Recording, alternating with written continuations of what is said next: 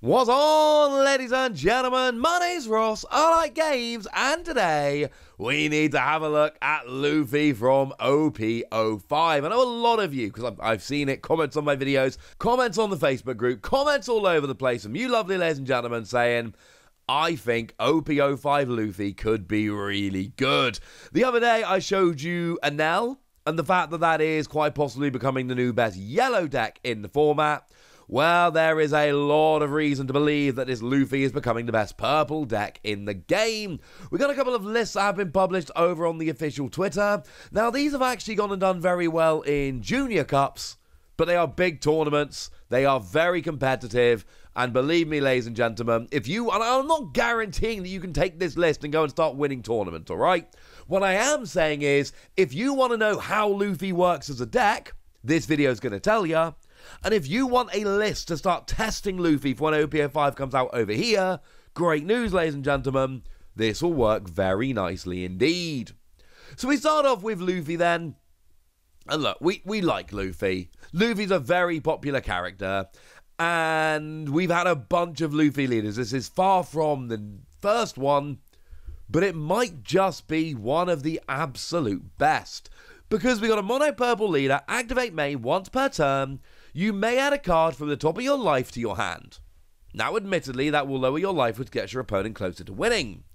But if you have zero or three or more Don cards on the field, add up to one Don card from your Don deck and set it as active. The reason it's not one or two is to stop you using it turn one. So if you go first turn one, you'll have one Don. If you go second, you'll have two. That's a little bit awkward. So the way they do it is basically it's either zero or three or more just to stop you getting too much Don advantage turn one. And that's the thing, you are getting Don advantage and card advantage. Sure, you are giving up a life that's a bit sad, but you're getting an extra card in hand and an extra Don on the field. That is going to accelerate your deck very nicely indeed. So then, what do we play with it? Well, we've got Kurozumi Higurashi, 2 cost 3000 power, counter plus 1000, blocker. Nothing more than that, nothing more exciting. It is a blocker, that's what we've got. And this is an unusual deck in that this is the only character we've got that is less than a 4 cost, but we should be accelerating our Don a little bit faster than your average deck, so we can go a little more aggressive in terms of our cost here. We've got the ulti, 4 cost 5000 power, counter plus 2000. Obviously, you need some counter plus 2000 in your deck. And on play, Don minus one, play up to one Page One card of a cost of four or less from your hand. So basically, you can either use it as a counter plus 2000, yay, or you can use it as a four cost double character. Because page one is just a four cost 6000 power counter plus 1000. It's your ordinary, everyday, run of the mill vanilla character. Nothing special about it at all. But it is a vanilla character which can be played for free with ulti. So essentially what you do is you play this as a forecast, Don minus 1, you've already used it this turn anyway, and then you've got a 5,000 and a 6,000 power character sitting out there on the field. Yeah, that's why we're not going so aggressive on the low cost characters here. Now we do see Scratchmen Apoo coming in here. This is another just ordinary everyday run-of-the-mill vanilla character. 4 cost, 6,000 power, counter plus 1,000. That's what it does, ladies and gentlemen. It's just a vanilla card, but hits quite hard. And what you're trying to do here is get going nice and quickly using Luffy, and if you just want basic power, these vanilla cards are pretty good. Now, we also see the Law that came around in Starter Deck 10. Yeah, there's some Starter Deck 10 cards in here. And the Law is a 4 cost, 5000 power, counter plus 1000 blocker. We need more blockers. Simple as that. Lots of decks need blockers. Pretty much every deck needs blockers, honestly. I showed you that we've already got the Higurashi card. Now we got Law coming in here as well. It's another blocker. It's not just a blocker, I should add, but it is a blocker. Also on play, Don minus one. If your opponent has seven or more cards in their hand, trash two cards from your opponent's hand. So it works as a pretty decent blocker, but if your opponent's ever got a large hand that you are starting to get worried about, this will act as a little bit of hand disruption here as well, which is nice. Now, like most purple decks, we've got the Uta from Starter Deck 5. It's another blocker. Yes, there's lots of blockers here, but again, you're accelerating your Don for the first couple of turns, so you're going to be able to have these blockers out. You're going to have a bit more Don to use, but also you're giving up your life to use Luffy's skill. So you're going to need a few extra blockers in here to make sure you don't give up your life and then just get rushed. So yeah, that is 12 blockers in total so far. Four copies of Higurashi, four copies of Law, and four copies of Uta but also on block Don minus one, rest up to one of your opponent's characters with a cost of five or less. Cool. Sounds good to me, ladies and gentlemen. Resting characters is good. Now we got ourselves Kalifa here. We might not have many characters that are the kind of one, two, and three cost, but you, you might notice here we've been talking about four cost characters for a while. Yeah, there's a lot of four cost characters here. Four cost, 4,000 power, counter plus 2,000. And when attacking, Don minus one, draw two, trash a card from your hand. It's just a way of making sure we're getting a little bit of extra draw power in addition to what we're getting from the Luffy.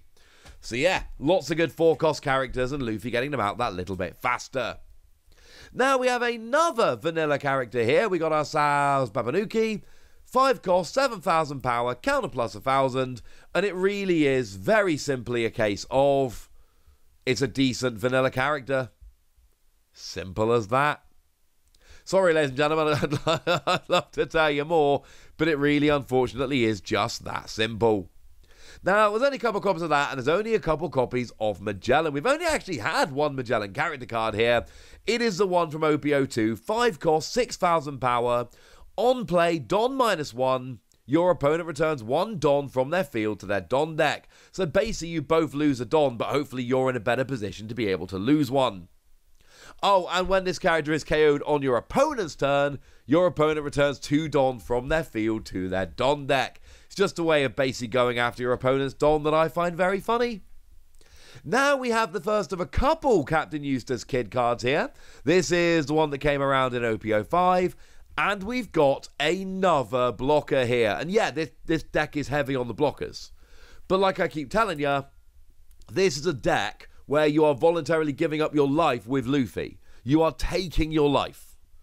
So, you know what? You're going to need a bunch of blockers to make sure it doesn't really come back to bite you. What we got here in terms of Captain Kid, other than blocker, is on your turn, once per turn, when a Don card on your field is returned to your Don deck, add up to one Don from your Don deck and set it as active. You will notice I have said a lot of Don minus in this video so far. There have been a bunch of skills that activate when you shuffle a Don card from your field back to your Don deck. Well, this will work very nice. And we've had the ruling here. If you've got multiple Captain Kid out, yes, you get multiple Don. So you can go Don minus one, get rid of one Don, and then two Don come back instead. And that's the ideal scenario with this deck. If, if you can get Luffy getting your Don in the early game, so that you can then get a couple of Kid out, so that you can then just keep getting extra Don. Oh my, yes, ladies and gentlemen, this will work very nicely indeed. Now we got Queen coming in here. Queen's got blocker, shockingly. And on play, Don minus one, draw two, trash one. So we've got a bit of extra draw power here. We saw it with Kalifa, we saw it with Luffy. Now we've got some extra draw power here as well. This is good. Also, Queen sees a huge amount of play because it's a blocker that draws. I mean, come on. That's a good card, ladies and gentlemen. That's a good card.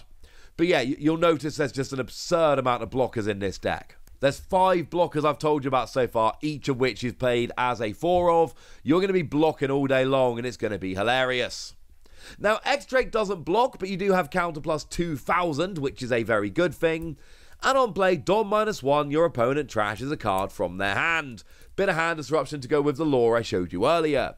But again, remember we've got the Captain Eustace kid that will get that Don back, and if there's multiple kid,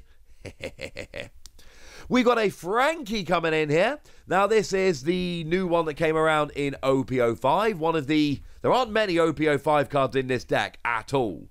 You've got Luffy, and then you've got this. They are the only cards from OP05 in this entire deck. Although, like I said, there are a couple from the starter deck as well. Now, what this Franky does is, firstly, counter plus 2000. We've seen a few of them now, that's good. And Don X1, if you've got 8 or more Don on the field, you gain Rush. Well, we're accelerating Don, And now you've got a 4,000 power, well, Franosuke, actually, if you want to be pedantic, because of course it is the Wano Franky. And yeah, Rush. Rush is good. I like Rush. Big fan of Rush. We've got a character in here that can rush. Now, I promised you two Captain Eustace Kid, and I intend to deliver. We've also got the one that came around in Starter Deck 10. 7 cost 8,000 power, so one of your two real big boys in the deck on play and when attacking, Don minus one. Up to one of your leaders gains 1000 power until the start of your next turn.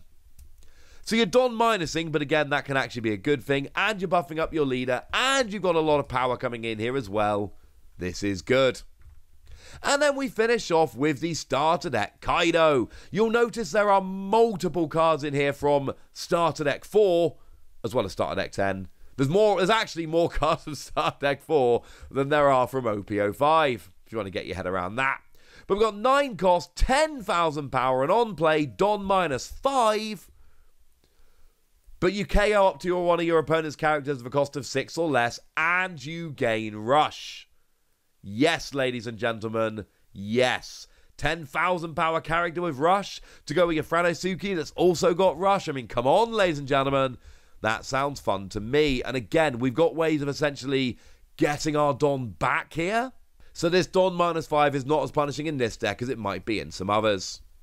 So there we go, ladies and gentlemen. Here's a list as a whole. I love this deck.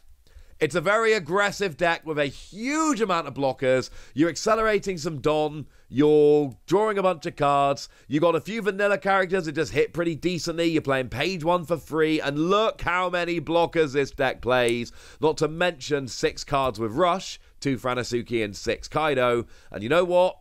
This is a deck I'm certainly going to be playing around with when OP05 drops. This one looks fun.